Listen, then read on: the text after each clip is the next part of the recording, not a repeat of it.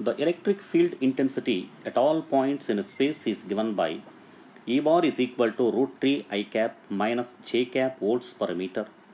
The nature of equipotential lines in xy plane is given by. So they given in the problem they given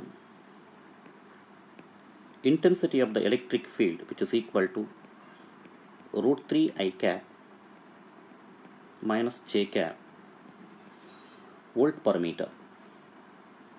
So it is in the form E bar is equal to Ex I cap minus Ey J cap volt per meter.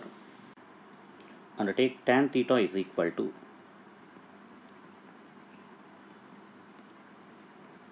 Ey by Ex that is minus 1 by root 3 which is equal to 30 degree that is in in a negative plane. So let us take the direction of the electric field in the equipotential surface. So this is the high potential they said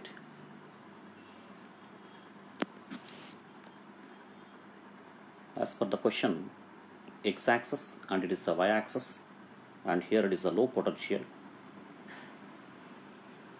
Here the field lines.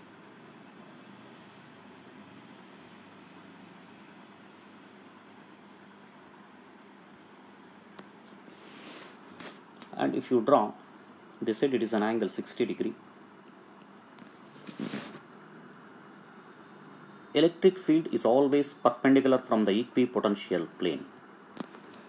So that this angle definitely 30 degree. Since the this is the equipotential plane the angle between equipotential plane and direction of the electric field 90 degree. That's why it is then the negative xy plane here. That's why the third option is the suitable representation